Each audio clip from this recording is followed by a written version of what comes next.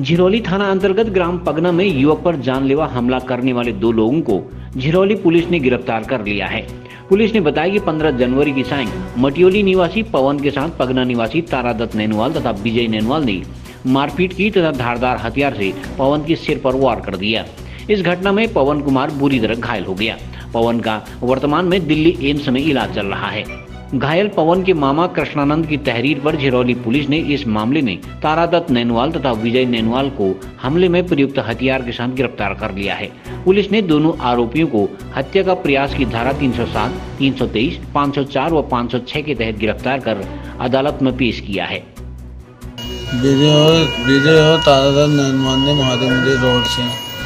वहीं पर था मैं भी आए वहाँ से ऊपर से पर इन्होंने मारी बस रोड से मारी दोनों ने। बस यहीं पर मारी है शर्मा रोड से मारी है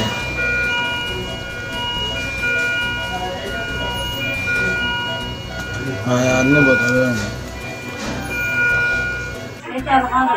मारी टोटल मारी भी चिल्लाए चिल्लाने में बहुत वीर मारी में चल गए मारी फिर